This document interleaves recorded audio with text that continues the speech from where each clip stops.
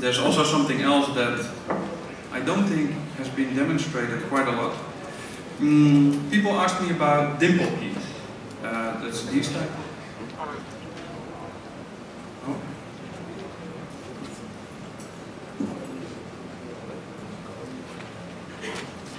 Okay, this is clear.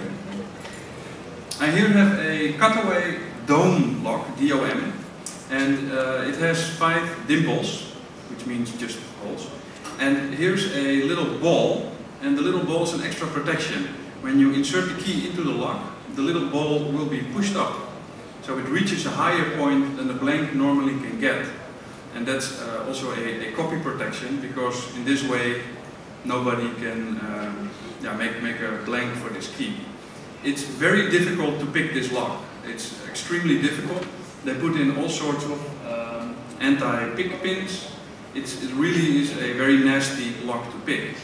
On the other hand, I just explained you a little bit about um, impressioning.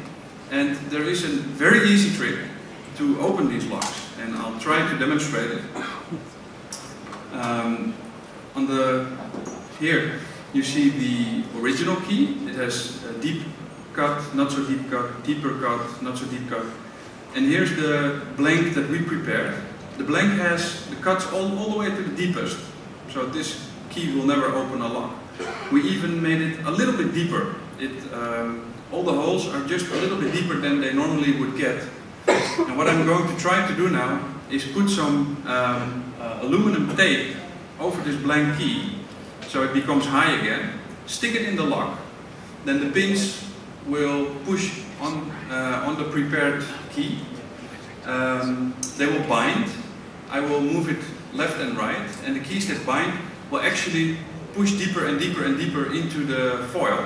And at one moment, hopefully, the lock will turn and I have an exact copy of the key. And this is a technique that is um, that's possible on almost all dimple lock keys. It's not possible on the Mul-T-Locks because they have pin in pin and some have to be pushed upwards and therefore it doesn't work on that. But it works on an amazingly amount of, um, of locks.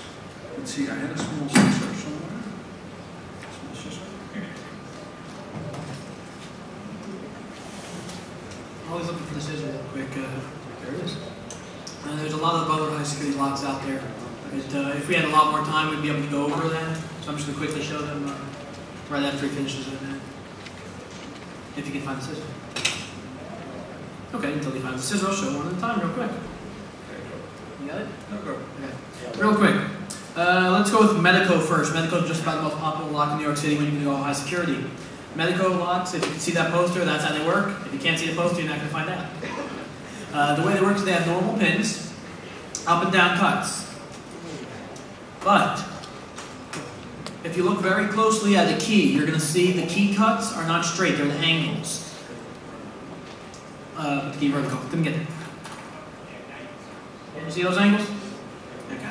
If you look at those angles, what they're doing on the inside is the pins spin uh, up to a third, I think, up to about a third. And in the side of the pin, there's a slot, so that once you spin it, it has to be in line with that slot. What happens on the side is there are a bunch of fingers. Those fingers have to go into the slot for it to turn. So you both have to do up and down and those angles. There's left, right, and center angles. And there's a standard of six cuts. And when you start trying to pick that, you're going to have a heck of trouble. I personally don't know anyone who can pick it. I've heard there's one guy out in the middle of nowhere that can. Uh, this I consider a pretty darn good lock. Uh, the cam locks are good. All the, the cam locks are a little bit different. Yeah. Basically, Medeco is a very, very good, hard to pick lock. Uh, let me go with another one while he's making the key. I, uh, here I show you what I do. I put some of this uh, aluminum foil that is being used in the car industry and the heating industry um, over this blank. So as you can now see, it's covered.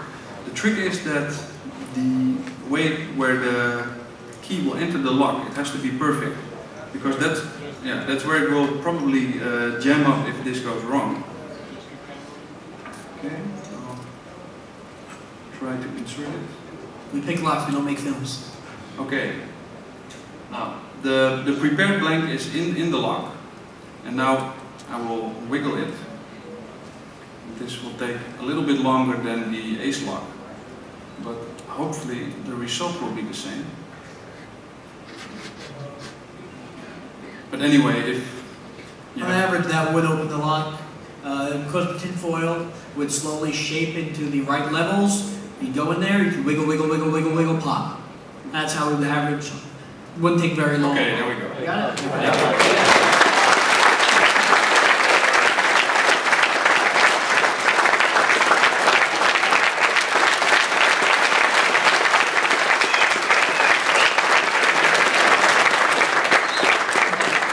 Now remember, this is a $150 lock. What? And some people are really going to be upset because this works with a lot of these dimple locks. I hope you can see it that, for instance, this deep cut, this deep, this not so deep cut. Hope you can see it. But, uh, but, but they're actually quite similar. And I don't know if you can make a key from this, but who, who needs a key when you can Absolutely. just... Okay. Here's another one very much similar to it. It's called Yardini or Yardeni. Uh, once again, just another dimple piece setup. Same thing would probably work on it. I haven't tried yet, but I'm going to when I get home. Okay. Then there's one more thing, um, and then, then we go to the questions. Uh, there's this brand called Abus.